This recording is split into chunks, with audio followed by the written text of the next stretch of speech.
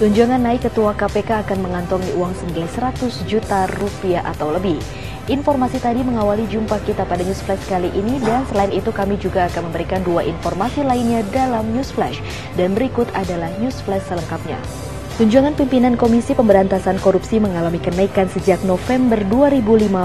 Selain gaji pokok, Ketua KPK kini mendapatkan tunjangan jabatan, yaitu sekitar 24 juta rupiah atau naik dari sebelumnya yang sekitar hanya 15 juta rupiah.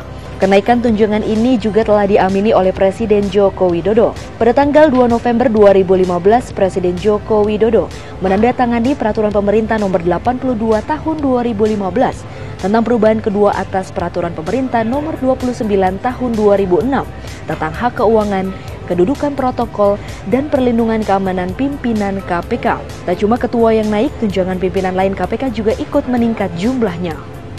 Dan untuk informasi selanjutnya adalah terkait dengan artis Nikita Mirzani yang diamankan oleh Baris Krim Polri terkait dengan kasus prostitusi. NM yang kemudian diketahui sebagai Nikita Mirzani menjadi salah satu artis yang diamankan Baris Krim Polri tadi malam beserta artis berinisial PR di Hotel Indonesia Kempinski, Jakarta Pusat.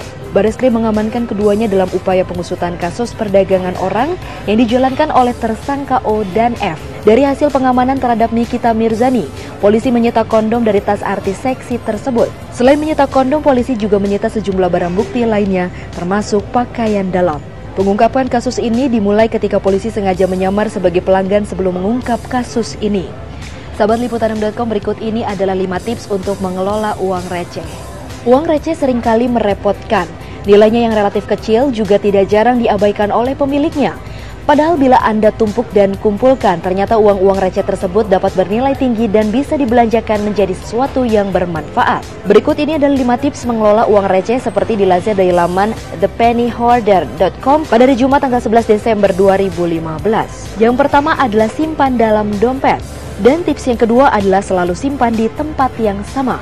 Di rumah atau di kantor letakkan uang-uang receh di tempat yang sama dari waktu ke waktu. Itulah tadi tiga rangkaian informasi terkini yang dapat kami sampaikan untuk Anda dalam News Flash sore kali ini.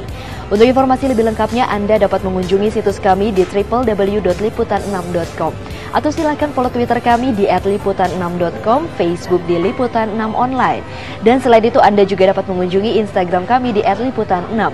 Akhir kata saya mewakili kru yang bertugas pamit undur diri. Terima kasih atas atensi Anda dan sampai jumpa.